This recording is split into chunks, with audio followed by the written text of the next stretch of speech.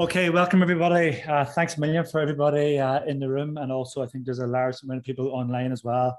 Look, uh, Barry McMullen, the chair of the Energy, Environment and Climate Committee, asked me to come here today and host this event. Um, my name is Aidan McAleer, and I'm head of hydrogen and energy storage for the ESB. Um, originally, now we had uh, Dr. Ivan Goro from SNAM, uh, you may notice that I don't have an Italian accent, so I'm not him. But uh, unfortunately, he got sick last Friday, and then he was joined by John O'Sullivan, who also got sick this morning. So look, Paul Cullen was the replacement for uh, Ivan there on Friday, and now he's replacing for John today. So he's doing um he's doing two or three jobs today. Okay, so look, I really appreciate. I'm delighted, delighted as well to welcome Paul Cullen here today. So Paul Cullen is um, a manager of 35 years experience in the ESB. He's worked across the ESB in power generation and some of the more difficult jobs. He's worked in the Electric Ireland, the customer solutions part of the business. Uh, and he spent the last 10 years in commercial and has some really interesting roles in the commercial side of the business. So look, uh, Paul is now the hydrogen business development manager for the ESB. Uh, and he has a special focus on the delivery of large scale energy storage I'm not going to do Paul's presentation for him, which I have a habit of doing, but uh, I just want to say maybe on behalf maybe of the ESB and maybe and also the um, Energy, Environment and Climate Committee, I think energy storage is the missing ingredient in the energy transition. And I think without large scale energy storage or solving the storage problem, we will not get anywhere near decarbonisation of Ireland or Europe. So that's why look, I'm really delighted for everybody who's come here today.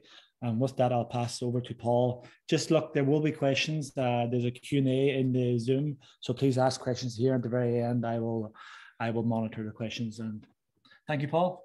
Good evening, everybody. Um, as I'm 35 years a member of this great institution, um, I've presented a couple of times here before. I'm my first time presenting on this.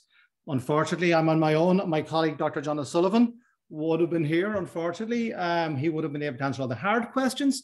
So when the hard questions come later on, I give my best shot, but we'll see how that goes.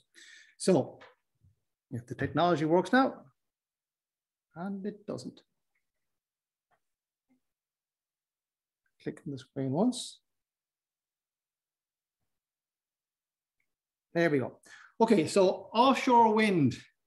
The question is delivering Ireland's net zero future uh, question mark. So the dream is that we build all this offshore wind and other renewables. We feed it onto the grid. The grid goes out, and hey presto, all of that supply exactly meets demand, and we don't need any storage or we don't need any backup. That's the dream.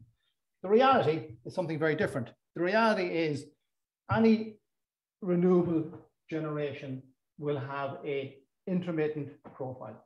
That there, believe it or not, is one year's wind off the east coast of Ireland, representing a squash down into one year, in, into one single graph. As you can see, obviously there are times you get full load, full output of your, out of your wind, wind farm. There are, however, a number of days, a number of times, hours that you get less than that, sometimes nothing at all. So if you're trying to match that wind, that generation profile, and if, you, if that's your wind off the east coast of Ireland, your west coast of Ireland is not coming off a different your coast of is not going to be not, that different. So the difficulty is matching that profile with a profile of demand that in some cases you, you have very little control over. So the reality is that offshore wind on its own will not deliver the matching up of supply and demand going future. So that issue is an issue if you're looking at individual days, a couple of days in a row, if you have poor wind, how are you going to fill the shortfall there? But also we have a significant seasonality challenge coming at us. So if you look at the bar here, this basically is a rough indication of your electricity demand over the year. Week on week, obviously it changes. It's not an exact profile in around sort of four or five gigawatts.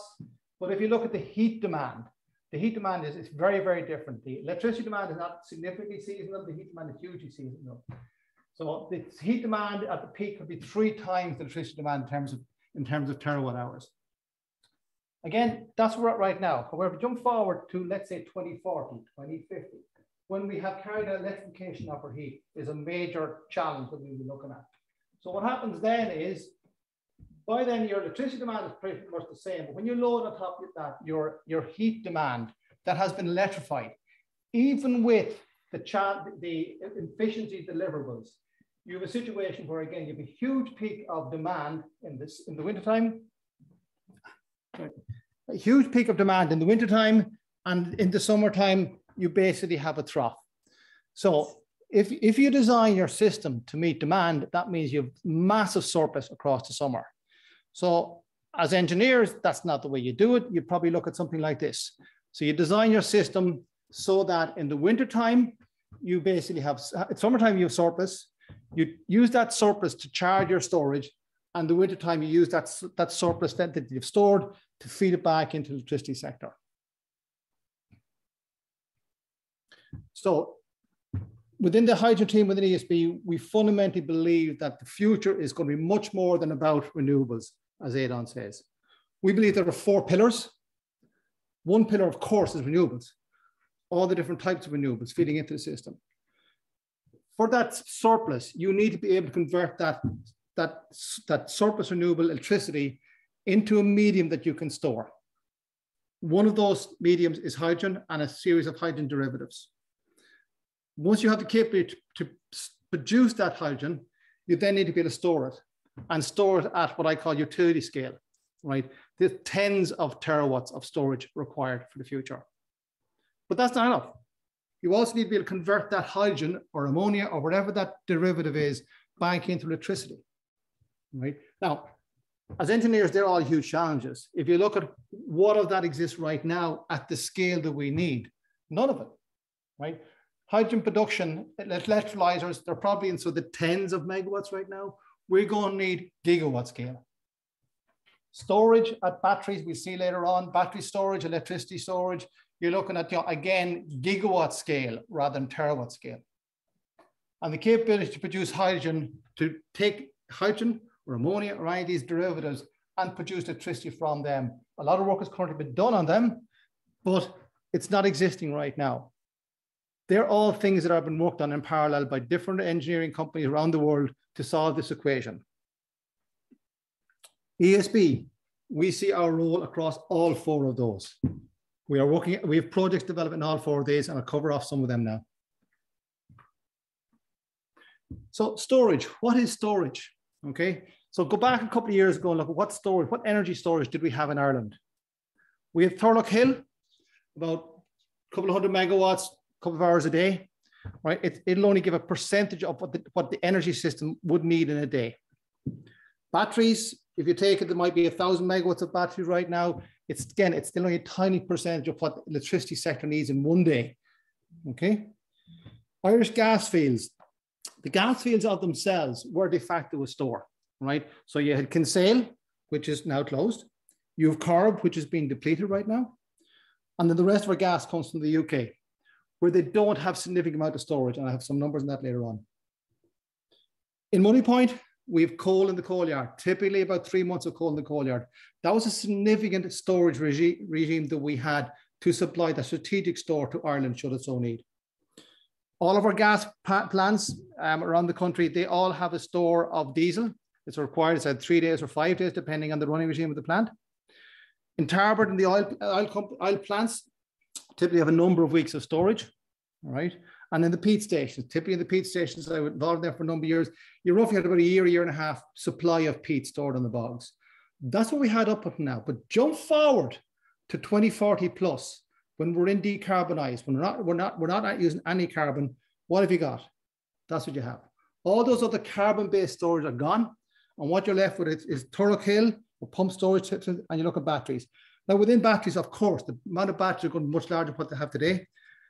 But in gigawatt scale batteries, right, you're still looking at less than one day's storage. One day's storage in batteries would, would roughly about the same size of your average county in Ireland right now. If you wanted to have just one day storage, never mind the 90 day storage that indicative wise Europe would like to see us having of, of any of our energy sources. So the alternative basically is we have to have large scale storage of energy, right? And like what we had heretofore, that large scale storage has to be diversified in, and uh, has to be in scale. So what does that mean? So if you look at the technologies, most you would have seen the left-hand side probably before, I'd say. You're looking at the technology scale there. Now, that, this is a log scale. So across the bottom, you have the storage, and then the, uh, that vertical, you have the time. Flywheels, batteries, compressed air, pump storage. But if you put them on a straightforward scale, right, all of those technologies on the left-hand side or in the bottom corner, if you want to get roughly 10 terawatt hours of storage, which is our view in ESB of the minimum amount of storage we will have to have when we get to net zero, only hydrogen or a hydrogen derivative will deliver that scale of storage for you. ESB have put together a consortium working with us to develop storage. That consortium is made of a company called DecarbonX, who are experts and have a lot of expertise from the oil and gas exploration industry. They're part owned by Snam. Snam is currently the biggest natural gas distributor and storage and operating storage fields of gas in Europe. They're an Italian-based company. But like ourselves, they're looking out to 2040, 2045 and saying, well, look, at if they don't change their business model to this new world, they're going to be left behind. So they're actually doing an awful lot right now, both upstream and downstream, investing in hydrogen and hydrogen storage and hydrogen, hydrogen capabilities. And it's great for us to have them involved with us as we go forward. So underground storage. Um, so there are essentially three types of underground storage right now. You have depleted gas fields, and we're involved in that looking at, at Kinsale gas field. You have salt caverns, and then you have saline aquifers are the three mains. I'm not sure if Ireland has saline aquifers, but certainly depleted gas and salt caverns are part of what we're working on and developing in ESB. If you look at storage quantities across Europe, um, the storage quantities across Europe, typically in terms of amount of storage gas, the underground storage that they hold, right? The, most countries in Europe would comply with EU's indicator of 90 days of storage. It's sort of a benchmark that all countries would, would, would run to. So in Italy, in Germany, in Ukraine, you know, they all have significant quantities of underground gas storage. The UK has very little. Ireland has none. We have derogations because we're linked to UK, but in terms of long-term moving forward, we need to address that within Ireland. So at ESB, in this consortium, we have a number of areas we're looking at. Kestrel, which I'll talk about in the next few slides. Kestrel is where we're looking at the Kinsale head and using the Kinsale gas field for storage of natural gas initially, progress to hydrogen storage. The Kish Basin off the, off the Dublin coast, we're looking at developing salt caverns at the Kish Basin. Green Atlantic at Moneypoint, you may have heard about, right, which is about the whole, you know, capturing of all the offshore wind or elements of the offshore wind off the west coast of Ireland. Our view there is we would be looking at hydrogen or possibly ammonia as the storage regime for there because we don't have readily access to the underground storage capabilities that you will need for large scale utility scale hydrogen storage. We also are looking at the onshore storage in the UK, and one of my colleagues is working again with DecarbonX and SNAM, looking at potential for, off, for onshore storage in the UK. So, salt cavern storage, again, term I'd heard about um, for a while now. Wasn't exactly sure what is it, what does it give you, what size is it? So a typical salt cavern is roughly about 120 diameters and 260 meters. And what I just said to my colleagues, think of Croke Park standing on its end, way down below the ground where there is salt. That's the easy way to visualize it. Each one of those salt caverns would typically hold 225 gigawatt hours, again, roughly depending on the size. If we want to achieve our 10 terawatt hours of storage in salt caverns, you need 45 of those caverns. There is a very good video that I'm going to show you. The video itself is nothing to do with our project. It was a video that was developed a number of years ago from a gateway project in the UK. It was about salt cavern development, primarily for natural gas storage. But it's a very good video in terms of giving people an idea of what gas, what salt cavern storage is and what's involved in it. So I'm just going to play the video for you. And just before going on to that, recent SEAI sponsored uh, funded research has indicated that yes, we do have significant volumes of salt, potential salt cavern development off the east coast of Ireland.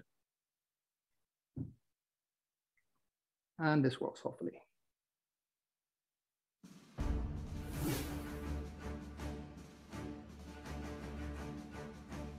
The Gateway Gas Storage Project is an underground natural gas storage facility in the East Irish Sea. Operational controls will be located on shore at Barrow-in-Furness in northwest England, next to an existing gas terminal.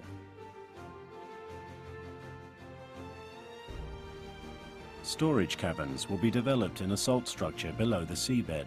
allowing gas to be delivered, stored and then returned to the UK's national transmission system.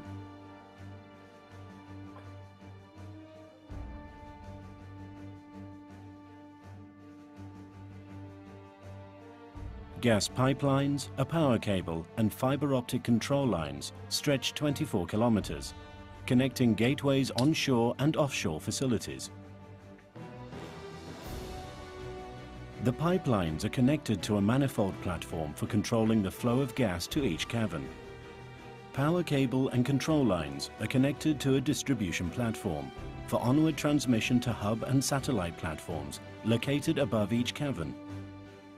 They support the equipment necessary for both the construction and operation of the caverns.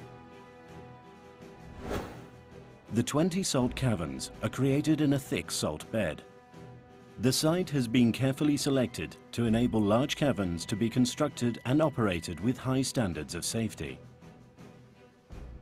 Gas is injected into the caverns when consumer demand is low and withdrawn from caverns when consumer demand is high.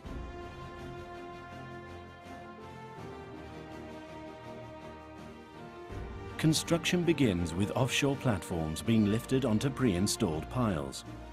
Pipelines, cables and control lines are then connected to the platforms. Caverns are created by injecting seawater down one well and returning the dissolved salt through a second well in the same cavern. This process takes two to three years to complete. When the cavern has been constructed, water remaining in the cavern is removed by injecting gas. The cavern is then ready for operation.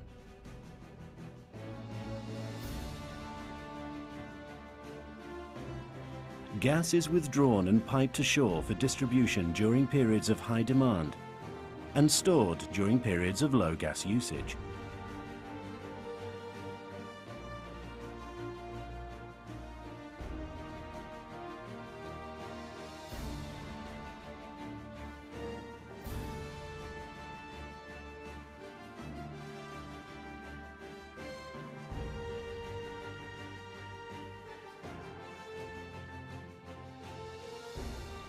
The Gateway project will increase UK gas storage capacity by 30%. Okay, so one of the key things in there is, I mean, obviously the size of the storage, it's, it's, it's quite large, but per my last slide, you're going to need a lot of them to deliver the potential for 10 terawatt hours. And you may have caught that the actual time to you know, carve out one of those is about two to three years each. And if we needed 45 on them, let's say you have the technology in place that could do two or three at a time, you're still talking a long time before you have 45. Um, as I said already, we believe 10 terawatt hours plus is what's needed. Yes, some of that will be delivered by salt caverns. We believe some of it can be delivered by ammonia storage on the west coast in particular, but that's not going to be enough in itself. So that's why we fundamentally believe that the, the Kinsale gas field needs to be utilized as part of the storage regime going forward. Bordolano is, so again, this is where my Italian colleague was going to come in. So Bordolano is one of a number of gas storage facilities that they have in Italy run by Snam. I think they have 10 plus facilities in total. Um, it's the most recent.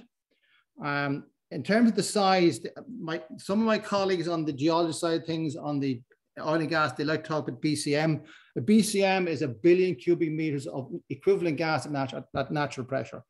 So in my head, I like to convert those figures into terawatt hours, which is more what, what I can understand. So the capacity of Bordolano was 1.2 BCM, which is 12 terawatt hours of storage of natural gas equivalent. Um, and it can deliver about 20 million cubic meters per day, which is roughly about 200 gigawatt hours per day.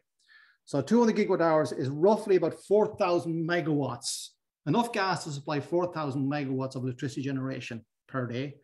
Or if you look at the 1.2 billion cubic meters, it's about 4,000 megawatts steady for about 60 days. That's roughly the size of the amount of gas that is stored there. Okay. So it basically, from the field, I say the concept started in 2013. That's when they got their go, their green light. They started production, construction in 2014 and started operation in 2016. So it was a three-year development. So the gas field itself is onshore, uh, but essentially all of that kit that's there is what we will have to build in order to you know, bring Kinsale back into operation. Um, they have nine well wellheads themselves, time to market three years, and it's fully operated by remote from their head, head headquarters. I have a video now about Bordolano and the construction of it. And again, I'll take you through that.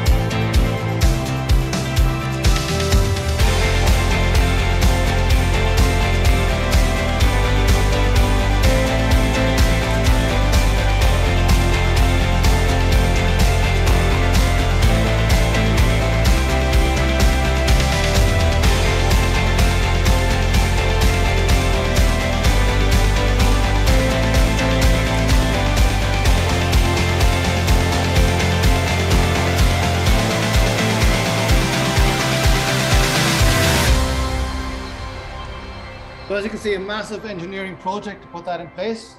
Um, the site itself is roughly about 10 hectares. In terms of how it operates, and they operate all their storage like this in the UK or in, in Italy and across most Europe. Essentially, once the winter is over, they start to fill that up and the filling process takes right the whole way up. And they target to have it absolutely full um, by the by the start of September, typically. And then the, as, as the demand for gas fills up or increases, then they start drawing out. What they aim to, is that they have eight injection points into Italy for gas, and they try to basically keep the level of gas coming into the country steady right across the year. In the summertime, like our graph at the start with the electricity, I think, like our, the, so basically in the summertime where the demand is lower for gas, they're filling up their storage, and the wintertime, then they're using the surplus to feed back. So Southwest Kinsale. Um, so the Kinsale gas field itself, the Kinsale had a number of fields. You can see Ballycotton um, on the left-hand side there, the right-hand side graph, you have Ballycotton, you have the Kinsale gas field itself, and within the Kinsale, there was a gas field on the southwest corner of what they called Southwest Kinsale field. That was discovered by Marathon in 1995. It started production from there in 1999. And in, in, the year 2000, they basically had most of the operational gas removed from it. At that stage, they actually converted that gas field, that Southwest gas, Kinsale gas field, to essentially a seasonal storage. So what they done essentially is they kept the production from Kinsale at the same level, same idea. Even though there was no production gas left in Kinsale, they actually basically pumped the gas in the summertime into Kinsale, into Southwest Kinsale field, and then in the wintertime, then when prices were higher and demand was higher, then they took it back. So the Southwest Kinsale gas field was used for the storage of natural gas from 2000 up to about 2016, at which, at which stage the gas field itself in Kinsale was starting to wind down and they stopped using the storage and basically took all the, the operation gas back out of it. There is still some of what's called cushion gas still left in that field. Recent research by, by UCD indicates that in total, potentially across the whole gas field, including the massive gas field itself, Kinsale, Kinsale field is about 67 terawatts, but there are massive challenges involved in that in operating that size of a storage regime. Kestrel. So basically at Kestrel, what we visit is bringing the Kinsale gas field back into operation initially for the storage of natural gas, and then progressing as we get hydrogen on stream, progressing it over a number of years to bring full hydrogen storage. If you look down through the actual cross section, obviously the sea, you've what's called cap rock, and then the gas field itself, you have working gas and cushion gas. Kestrel enables the Irish energy transition. So key Irish needs for a transition path. We need large scale storage of natural gas now, right? Natural gas, we need that storage now. But we need to do it in such a way that that natural gas storage can transition to hydrogen when hydrogen comes on stream. We need to develop that in a, in a, in a planned approach to that energy transition. That means optimizing the use of existing assets such as Kinsale. It means not investing huge money right now in plant and equipment that can get stranded. It means interchanging the gas and electricity sector. The two of those sectors need to work together going forward. Kestrel, we believe, delivers that to the Irish energy sector. We can deliver a secure energy system driven by renewables and green hydrogen through Kestrel. So what's involved? So on the left-hand side, essentially is the different things that we have to do. So right now, you may be aware, you may not be aware, the Kinsale gas field has been decommissioned. The pipeline out to the Kinsale field has been flooded with seawater. Inch Strand, where the gas came in, has been completely dismantled. Out at sea, there were two platforms, Alpha and Bravo. They were dismantled last summer. And the wellheads themselves have been what's called plugged and abandoned, which basically means the pipe, steel pipe has been pulled up and the top of the well itself has been, has been capped. So for all intents and purposes, it's put beyond use. Now that doesn't mean it can't be brought back into use, and that's essentially what we're looking at. We have on our team the guys from SNAM. Some of them were actually involved extensively in that project over its life, particularly the when it was being used for storage. So what needs to happen is, is if we start on the onshore side of things, we need to construct all of what we saw at Bordolano. We need to construct the compression, the capability to, to, to get natural gas initially and then hydrogen out to the gas field. We're currently looking at where the optimum tie-in point is. It's likely we may not use Inch. We might look at some other options, possibly into Aghada Power Station itself as, as the pipeline route. Okay. The pipeline itself, I say it's flooded, it's 40 years old. We need to look at the technical integrity of that pipeline to whether, whether we actually reuse the pipeline or alternatively run what's called pipe and pipe, or alternatively use that route to run a new pipeline out along that route. It's part of what we're looking at right now. Um, so then out at the gas field itself, so we're primarily if we focus on south on Southwest Kinsale, which is because we know that that is capable and was very, very good at storage of, of natural gas. That's our initial primary focus. We will be drilling wellheads, new wellheads there. Those wellheads will be hydrogen enabled. So they will be sized such that the volume of hydrogen we need to get in and out of that gas field, eventually when we move to full hydrogen, it will be able to move that amount of gas, but in hydrogen, both in and out of the gas field at the time to come. Um, and then so we expect it will probably be a much bigger number than the three that was currently that was there used in the past. We will be, basically we're not putting in platforms. Everything will be subsea. There'll be sub subsea manifold to distribute the gas from a single pipeline out to the various wellheads. And we are currently, along with SNAM, doing a lot of research into the capability of, of those of that that gas field in terms of the volume of potentially the volume of gas that it can store. When it was used before, it was roughly about 2.1 terawatt hours of storage. We believe that can at full capacity run up about seven terawatt hours of storage. Okay. There are other things we're also looking at in terms of the capability of it in terms of the storage of hydrogen. So you're looking at the potential for it to actually make sure the hydrogen doesn't escape. You're looking at the potential for microbiolo microbiological interaction with, with hydrogen to actually could actually contaminate the hydrogen cell. You're looking at the geophysical aspects of the of the gas field and other such challenges. SNAM, again, as I said at the start, they have huge expertise in this. They are the largest company that's in this game in Europe right now. They have already started a lot of work on the technical capability of sub of, of depleted gas fields to store hydrogen. They believe in the research they've done so far that on desktop that it can be done. They have technology in a laboratory in a university for actually testing core samples taken from a gas field, kept at the temperature and pressure that is at in the gas field for a long period of time, looking, injecting hydrogen into that. The results so far have been very positive. The next step in their challenge is, is to be actually is to actually inject hydrogen into an existing gas field and look to see how does that hydrogen perform. That's part of what they're currently planning right now. Um, I said we are looking at Southwest Kinsale. That's what seven terawatt hours, which roughly is, would be enough capacity to run the ESB's Aghada plant and the BGE plant there for about 140, day, 140 days in total, should it be called upon as natural gas. We're also looking at Ballycotton, which is the other gas field that's down there just to the north of it. Roughly similar in capacity is what we're looking at there.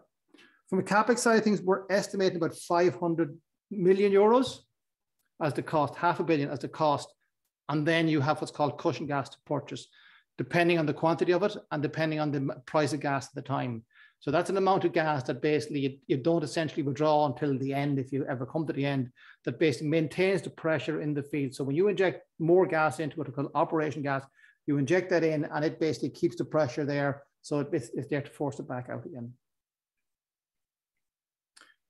So this next slide then looks at, okay, there has been a lot of talk about FSRUs, about LNG terminals, and this is something we put together as part of the consultation process back November. We're working with SNAM, who, who basically have all this technology. SNAM have um, subs, they have natural gas storage in, in depleted gas fields. They have FSRUs. They have LNG terminals.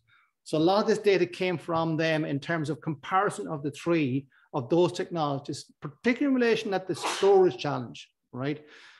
I'll summarize at the end, but we believe that FSRU and LNGs are not storage solutions. They are diversity solutions. They're diversity to give you different channels of, of gas into the country.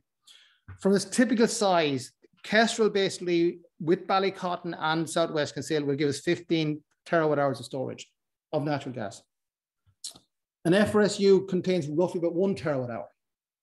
Okay. An LNG terminal, depending on the number of, of tanks that you build, typically about three, so that's three, three terawatt hours.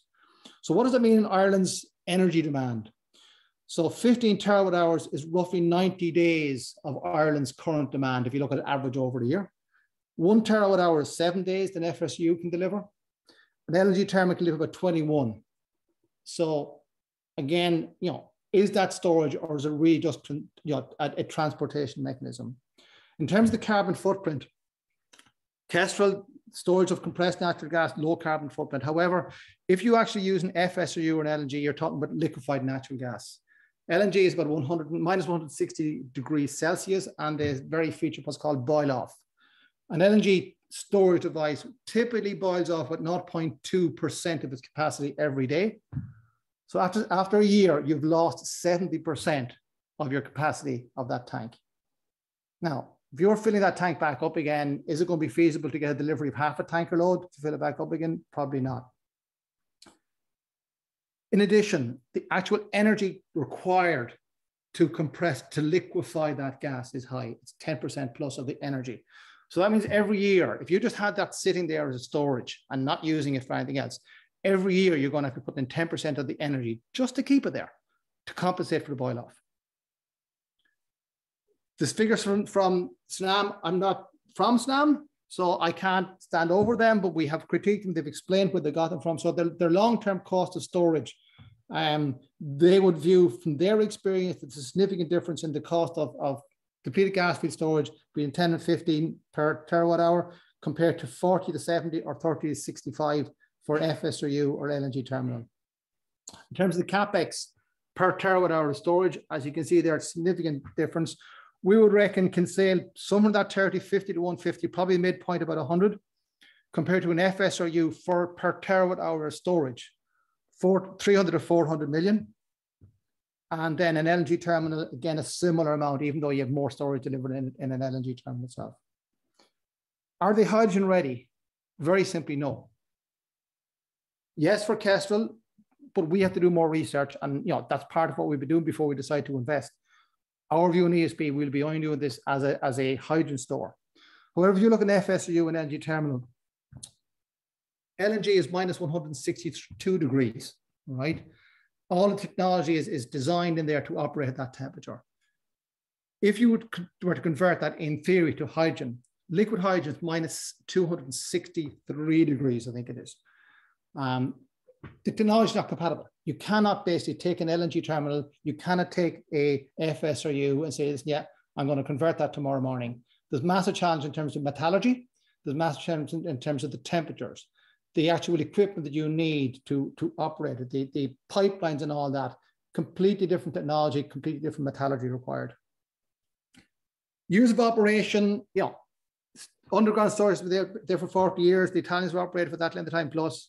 FSUs and LNG terminals, they're technical pieces of kit, typically 20 to 30 years in, in, in lifespan. Just watch my time. Um, visual impact, again, LNG, LNG terminals, FSUs, they're, they're big beasts. They're typically on your coastline. Um, I'd say most people here, even if they lived in Cork, weren't aware that underground sto gas storage was used in, in, out in Kinsale for 15 years. It's not visible. Okay. Um, in terms of the historical use of it, Kinsale Field is tried and tested. It has been used already significantly for gas storage, right? And equally, FSUs and LNG terms, I'm not here to say that's not the case. I mean, a lot of countries are developing that technology, they're implementing that. All the countries already have significant gas storage already. They are using that technology, not so much for storage, they're using that technology to give them another channel for getting gas into the country. Now the pipelines from Russia are no longer available to them. So lastly, in summary, strategic supply of, of, of strategic security supply, we believe Kestrel will deliver that. We also fundamentally believe that that cannot be delivered by FSRUs or LNG terminals. So where does it all fit in?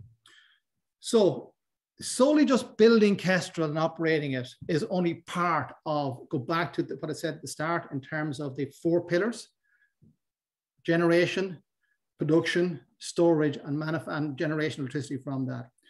So this is where we see it fit in, okay? So offshore at Cork, we will have Kestrel. We also have significant wind generation, will have ge uh, wind generation, be that ESBs or maybe somebody else's, but you will have significant offshore generation coming into Cork. That may not be generation that's going on to the bars. Some of that generation may be coming straight in on shore for the manufacture of, for the production of hydrogen. So in our, in our vision, the pipeline, the gas pipeline and the electricity is coming in ashore is coming into Aghada. At Aghada, we are, we are producing hydrogen. The hydrogen has not been used in the locality, I'll come on to the second, will be pumped back out to Kestrel. Initially, we will be taking back a blend. When the wind doesn't blow and the system needs production, we'll be taking back a blend, burning that blend in our gas turbines, in BGE's gas turbines, both of which can operate up to about 40% by volume of, of natural of hydrogen in the natural gas. In the long term, that generation technology will have to transition to pure hydrogen burning technology. That's not ready now. I said that at the start, but that's what will be there. And that's, that's where this fits into the big picture. It's not just about that particular part of it, about, about storing the energy, bringing it back, being able to produce. We're also looking at, the, at, at Cork as we call it, a cluster or a hydrogen valley. ESB is significantly involved in HyNet over in Manchester, where we have one of our, the biggest power plants, most modern power plants in the UK, gas-fired power, Carrington, sits outside Manchester. It's part of the HyNet project, which has a lot of industries involved. And within their cluster, the power station in Carrington will be transitioning to the burning of gas, burning of hydrogen. But part of the cluster is storage, part of the cluster is feeding hydrogen to local industries. We see that very much for Cork as well. We're already, you know, talking to a lot of the industries down in Cork. So if you look at it, you obviously you, you have BGE um, in, in their power plant. You have the uh, Irving oil refinery, potential there for, for conversion of hydrogen into a lot of other e-fuels and such. You have the pharmaceutical sector across the bay. We've already started discussing the pharmaceutical about, well, look at, you know, you have a heat demand as part of your decarbonisation, would you be interested in converting that heat demand to hydrogen as a source of energy? You also transportation, um, a lot of, you know, between the, the bus transportation, heavy duty trucks, they're recently out of Europe, they're saying, listen, you, you need to have hydrogen, a refueling hydrogen station every 200 kilometers along the system. One of them will be in Cork. We can potentially supply hydrogen to that facility.